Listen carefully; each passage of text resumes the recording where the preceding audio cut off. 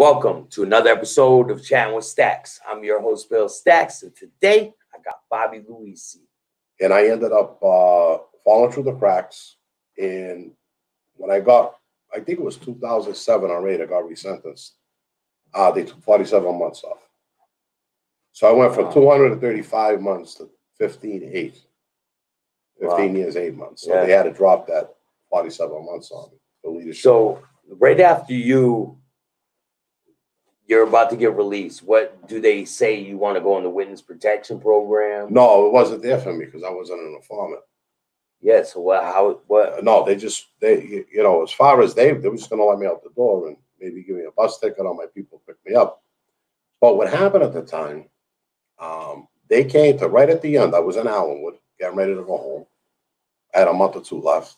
And And they, uh, this is the feds, right? it's the feds. They Mhm. came to me over the artwork the Gardner Art Museum, the robbery in 1990. Yeah. and uh, Bobby Guarente had told me something about it. He's from Connecticut. No, Bobby Gentile's from Connecticut. Oh yeah, Gentile. Gentile. He, Guarente's from Boston. he passed away recently. Gentile, I think. Yeah, yeah. He- Yeah. No, Gentile did, Bobby? I I, I heard he did. No, Bobby sure. Passed away. I think Yeah, I, Bobby I Gentile. one of them did. Yeah, the Bobby art, the artwork. Yeah. So uh, they came to me. I told them that, and and in that same time period, the uh, Boston FBI, first the Connecticut FBI came over the robbery Yeah. because they were investigating Bobby Gentile. hmm And I told them, I said, Bobby never mentioned the artwork to me. I don't know nothing about it from Bobby, but Bobby Guarente, you know. But I guess Bobby Gentile had informants, other informants talking to him about the artwork. Yeah. And one of them happened to be Bobby Guarente's wife. This is what this all started from. Yeah. People think that I told. I didn't say nothing about it. Yeah. And when they came to me over the artwork, Bobby Guarente already passed away a few years ago. I didn't hurt anybody. you know? Yeah. Yeah. So I figured, let me get on this bandwagon. Yeah. And uh, make a long story short, there was another person they called Rico Ponzo. They brought him back to Boston. He was on the run for 13 years, you know. And uh, they came to me to help on that case. And I said I never committed a crime with him. But they told me I was getting subpoenaed to that case. They wanted to know where I was going so I could get subpoenaed. Yeah. You know? Yeah. And I told them, I said, I don't know what I'm doing right now. So between the the Connecticut and the Boston guys, So at this time, are you out or are you? No, I'm you're, in. You're I'm still in. Yeah. yeah, Yeah. and they came. They said, "Listen, we'll put you in the witness protection program. Mhm. Change your name, do all this, and you know, what do you think?" I said, "Yeah, I'll do it." I says, "Yeah." I, said, I don't want to go back to Boston right now.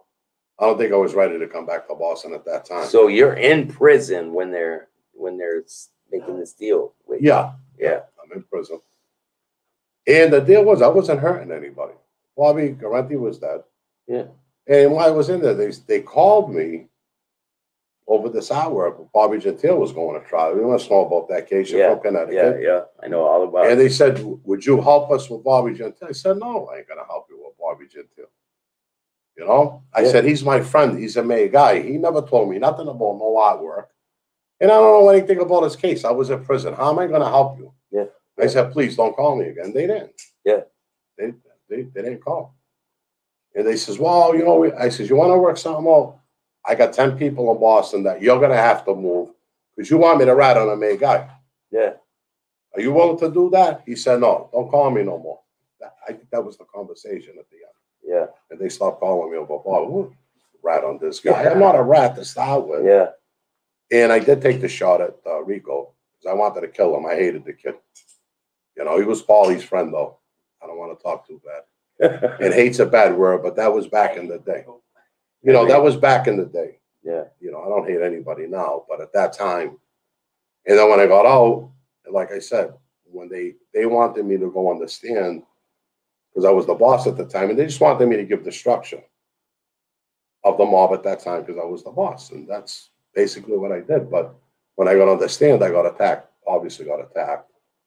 I'm Oh, a, I'm a, oh, by the by the prosecutor. by the pro- by uh, the, the defense attorney, all that bullshit. Oh, they were going in. Oh, they you. came at me ah, hard with my father. Uh, so, but so when your father was murdered, did it did that affect you? Like, were you like, I'm gonna get revenge for that? No, or where No, was it a lot of tension on the streets? Were you thinking that people were like, how did the whole thing transpire? Was it it was If mob don't mind talking related. about I'm it. just gonna say this: it was mob related, but it was more of a personal thing. Yeah. It was more of a- and there were two families involved, and there was enough harm done, and there was going to be no more harm. man, that it's a it's a tragic story. I'm sorry for your loss. my father was a gangster, my brother, you know. Um, I, it really hurts losing my cousin Anthony uh, in that. He was a great kid, really loved him, you know, but things happen, Yeah. you know. Sir, when you're in the witness protection program, do they give you money to um live? Like how how is the process? You lack nothing. You lack nothing? No, You live comfortable? no, no. They don't give you any exorbitant amounts of money, you know, but they make sure you get started. So That's do, what the program's about. do they give you a license? Do you got to take the driver's license test? Yeah, you got a license, passport, new birth certificate, social security number. You got the Now, whole do you have to take a test, like the driver's license test, or they just give you the license? Oh, I had to because you got to remember, I was gone for 14 years. Yeah, So I had to do that. yeah, yeah. It's not that I had a license; they could have But so they give over. they give you a license, but they give it to you in a different name. different. name.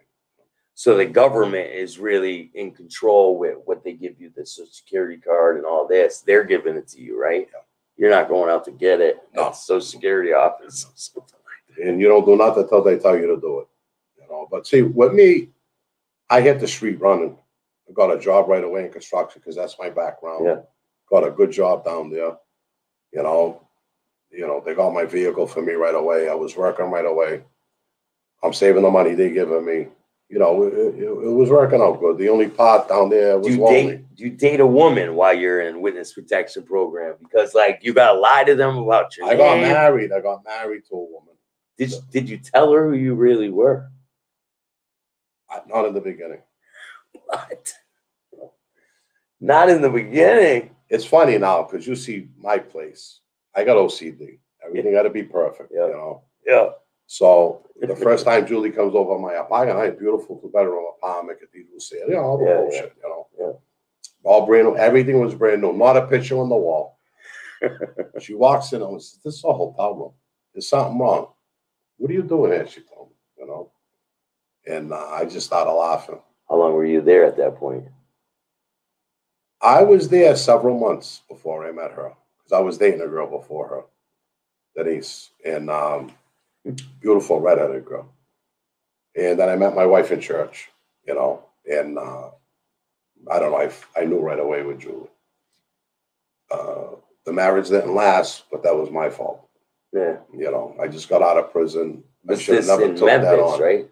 They, This is in Memphis. We live in Cordova, right outside of Memphis. so you went from prison right to Memphis? Yeah, to Cordova, yeah. Yeah. Yeah, man, because uh that when I first started doing research on you, that's where it sent me to Yeah. Memphis. Yeah. And uh I thought you were still there. And I was like, I gotta try to find this guy, but how do you find someone in the witness protection Yeah, program? I'll tell you, I loved it down there. I mean, as soon as I got down there, I was living in a complex.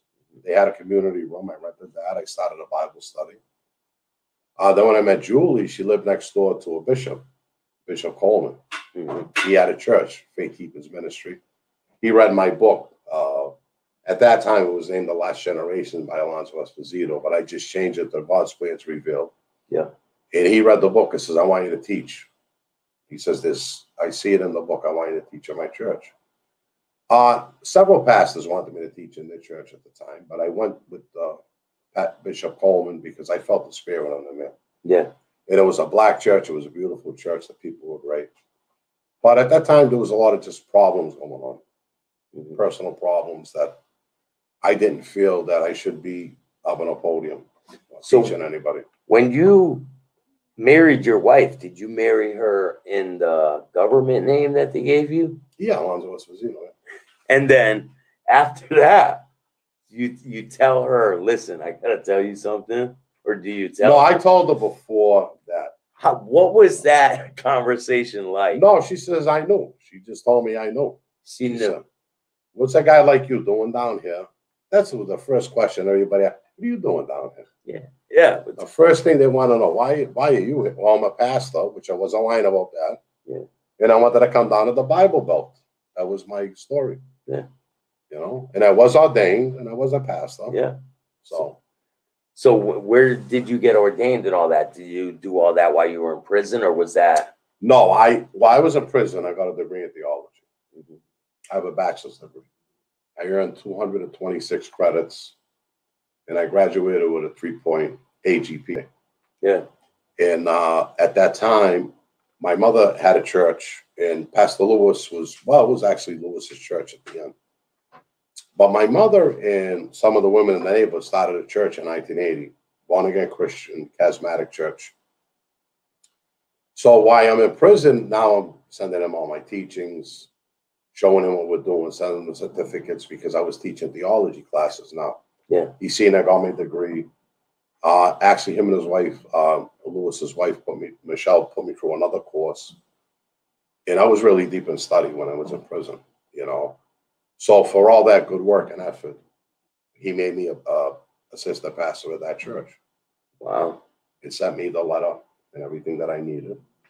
So you were working with them while you were in prison, but they knew who you were. Yeah. So they knew who you really were. Yeah. But they knew that you were going to get this new name and Yeah. all that. Yeah. Okay, now it makes sense. So then when you get out, you're so what? So when you tell your wife, listen, I'm not, I'm not really named. It's not my name.